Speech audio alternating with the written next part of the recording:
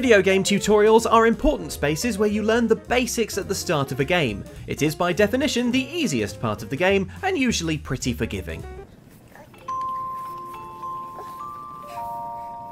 But if you ignore a tutorial's instructions or even defy them, you can end up doing something so unbelievably stupid that you fail these most basic of levels, and sometimes earn yourself a particularly sarcastic game over. Consider these 7 embarrassing ways you failed the tutorial. Beware spoilers for the following games.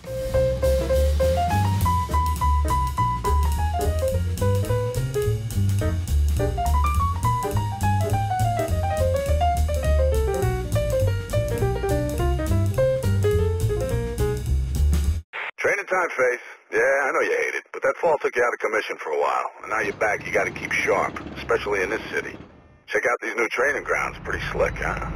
So let's not run around duty, so get to her and just go with the flow, okay?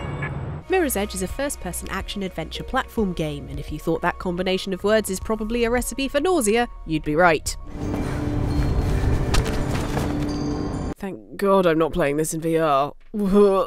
Before you were let loose onto the rooftops on your own as Faith Connors, you had to learn the parkour basics by following your fellow runner Celeste through some basic training exercises. Hi, Faith. Welcome back. Didn't think we'll be seeing you so soon.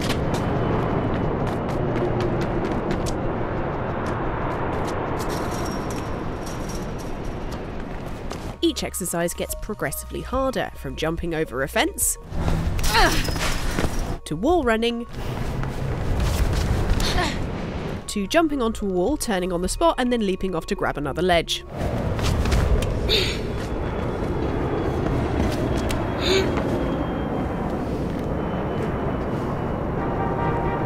Oh god, I feel sick again. However, while these exercises require some level of precision and timing, there is one part of the tutorial that is pretty simple. In the combat training section, once you disarm Celeste of the handgun she's holding, the game tells you how to fire a weapon, with the specific and very clear instruction, but don't hit Celeste. Okay, but what if? Those curious or stupid enough to try immediately fail and are thrown back to before you disarmed her, forcing you to do it all over again. You better be more careful next time. Oh wow, either the hitboxes in this game are huge or the sights on this gun are really off. I'm pretty sure that missed. What did she die of? Tinnitus?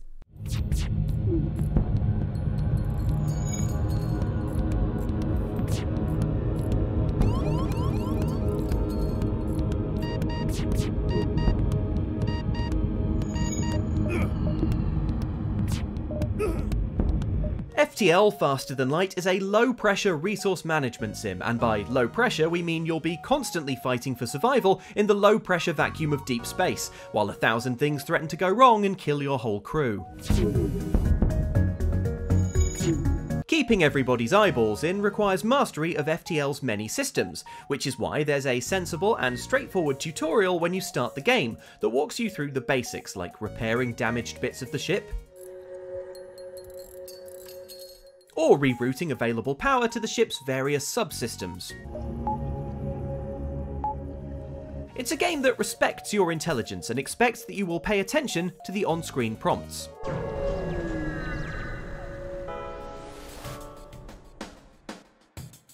And perhaps that's why developer Subset Games thought it would be absolutely fine to leave it so that even during the tutorial, every system on the ship could be tinkered with. Because, you know, why would you, a responsible first time space captain, go randomly clicking all these buttons when you have no idea what they do yet?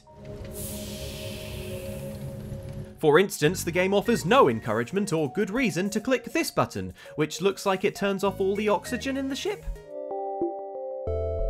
Hmm, Still, good to know where the suffocate crew button is. That freedom to mess with all the controls means there are plenty of ways you can accidentally get a game over before FTL has even begun. For instance, accidentally pressing the hotkey to open all doors and airlocks when the game is trying to teach you how to safely deal with a fire aboard by opening just one hatch. And every time you fail, you get the same brilliantly sassy warning that if this is what happens in the tutorial, you may not be cut out for a game about surviving in space.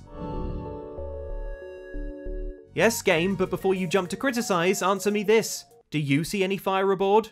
No. It's even possible to have your entire spaceship destroyed by the sarcastically weak source tutorial enemy. This dinky rival craft is here to teach you the basics of firing lasers and missiles, targeting enemy systems to overpower your foes in the most efficient way possible. And to lose it, you would have to deliberately turn off your own shields, then wait a good long time for this comically feeble tutorial enemy to slowly chip away at your hull, one hit point at a time.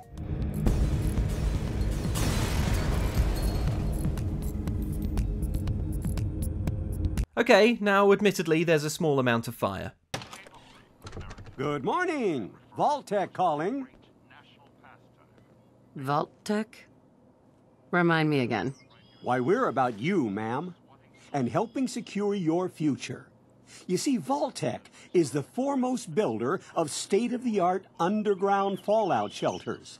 In the opening tutorial of Fallout 4, you have an idyllic life with your spouse, baby boy Shaun, and a helpful house robot that says the word calm like it's trying to swallow a whole boiled egg. Mom, Shaun has been changed, but he absolutely refuses to calm down. No one British says that word like that, Bethesda. Not even our robots.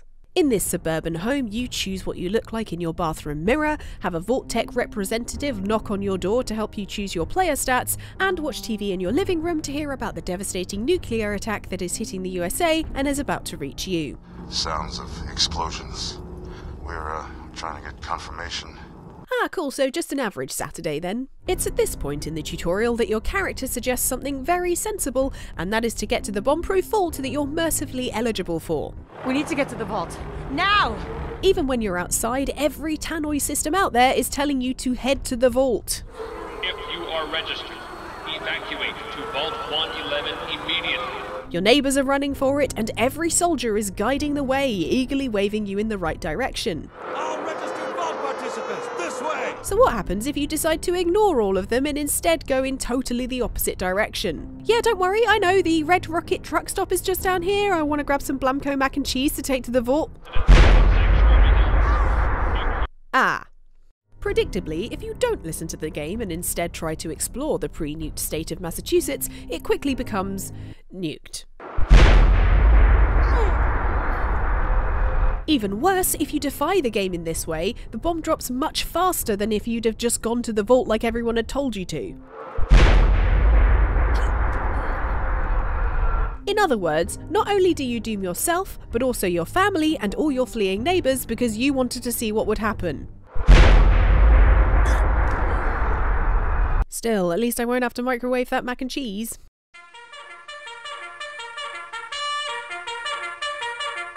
And shine, ladies!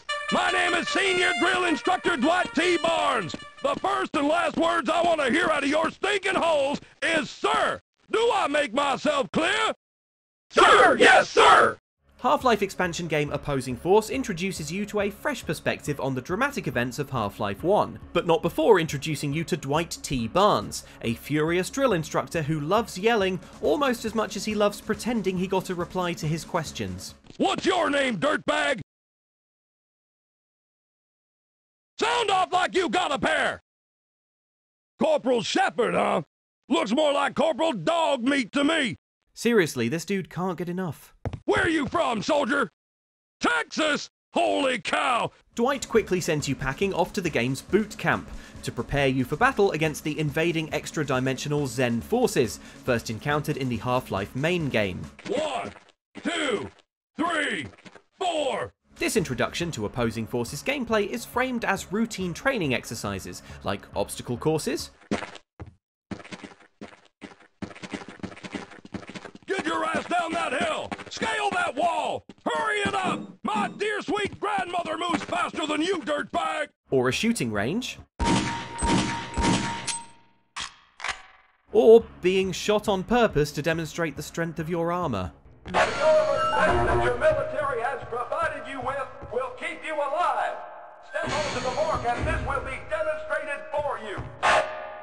Um, is it too late to volunteer to be the guy in the army who plays the trumpet? Make it through these training exercises and you'll find yourself being directed in the subtle craft of long range combat by none other than Barnes himself, who walks you through the basics of eliminating distant targets.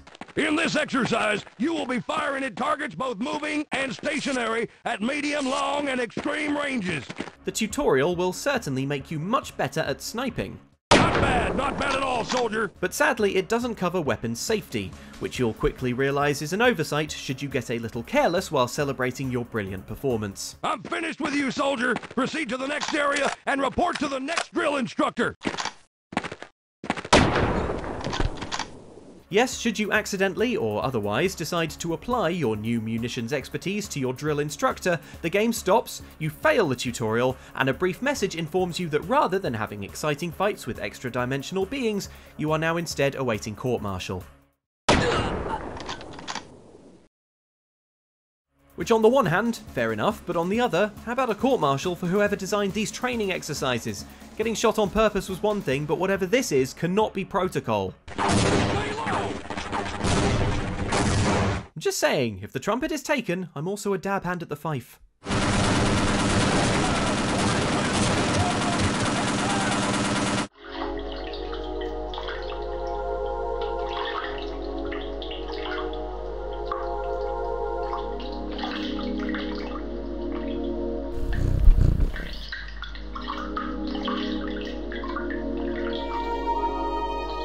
Zone Zero of 2008 indie game Off, you are met by the Judge, a rather friendly feline who looks like the Cheshire Cat got trapped in a Super NES.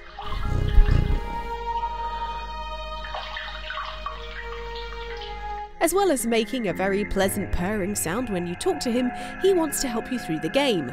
And seeing as the character you're controlling, the Batter, has a very sacred mission, the judge offers to teach you about the rules of combat.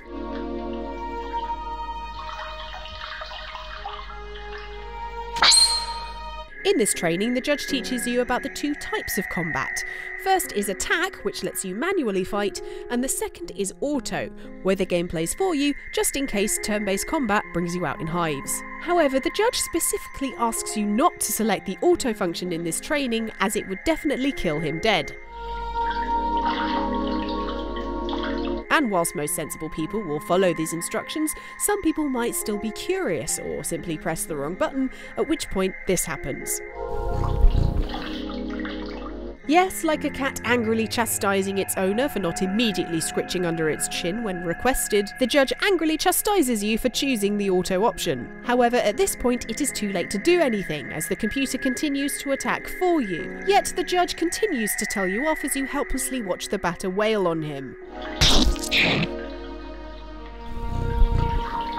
Eventually, you smack all the judge's health points out of him, at which point he calls you an imbecile like all cats wish they could, dies, and hits you back with a game over screen. Oh, don't be so dramatic. You've got eight lives left. Do not attempt to touch any other controls on your accelerator. In order to conclude the test, you need to accelerate to maximum velocity. Ready? Countdown to acceleration. Three, two, one. Accelerate. 1999 space sim X Beyond the Frontier puts you behind the nuanced controls of an interplanetary craft built for anything from long haul trading to intense ship to ship combat. Three, two, one. Launch. Launch completed.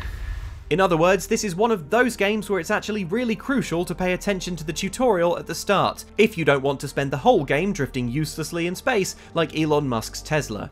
This craft is equipped with a three-axis control device. This allows you to steer the craft up, down, sideways, and to rotate it counterclockwise and clockwise. So it would, we all agree, be the height of folly to circumvent the tutorial by pressing all the buttons until you find out which one fires the weapons, then training those weapons on the mothership administering that tutorial. Run to gauge the engine propulsion capacity. Mission control here. Stick to the standard procedures, please.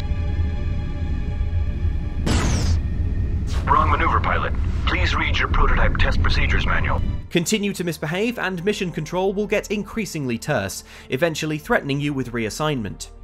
Caution.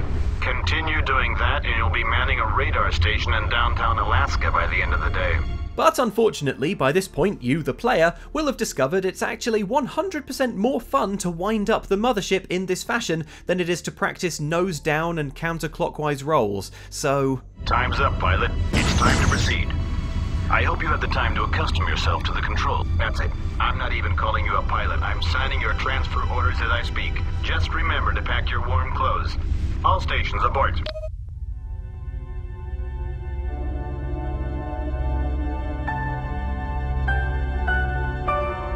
That's right, it's the end of the game before you've even begun.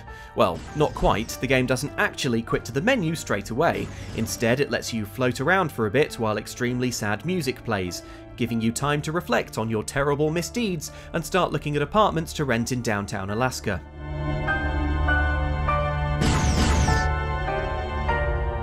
Harsh. Okay, compromise. How about I shoot the mothership while also practicing counterclockwise rolls? That's it. I'm not even calling you a pilot. I'm signing your transfer orders as I speak. Killjoy. Whoa, Marshal. When we do this, we do it my way. Quietly. Calmly. You got it? Fine. Hudson on the door. Watch our backs. Don't let any of these people get in. Rookie, on me. Most tutorials tell you that if you push the button, you do the thing. But what if you do nothing? Far Cry answered this very question when you went to arrest cult leader Joseph Seed right at the start of the game. Here you can ignore the button prompt to press A to arrest the father, and the US Marshal ordering you to do so. Rook, put the cuffs on him. Instead, you just stand there doing absolutely nothing for a full 90 seconds as Joseph stares into your soul and tells you to leave, all while you defy the first button prompt on screen that isn't push left stick to walk. Put down your guns. Take your friends. And walk away. We have to wonder what your fellow officers think is going on as you stand there doing nothing for a minute and a half. Stage fright, presumably? Or wondering if you left the oven on? Eventually, despite the US Marshal's best efforts to remind you to do your job, the sheriff calls off the whole arrest, i.e., your entire reason for being there. We're leaving, Rook. This ends the game, and you sit there watching the credits having done nothing but walk forwards. I will have you all arrested. So be it.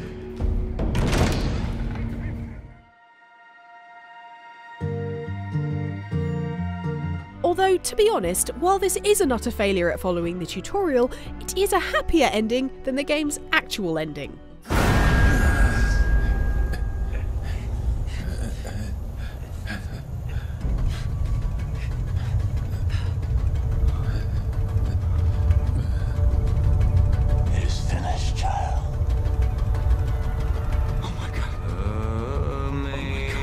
Told you. So those were some of the ways you crashed out of the tutorial before the game had even begun. Can you think of any more examples? Let us know in the comments if so. And if you enjoyed this list video, then why don't you check out some of the other stuff that we do on Outside Xtra. For example, our tabletop series, Blades in the Dark, where we play the excellent uh, crime sim Blades in the Dark with our friends from Outside Xbox and the incredible Johnny Chiodini. We think if you like these videos, then you will probably enjoy it, so why not check it out? Alright, that's all for now. Thanks for watching. Goodbye.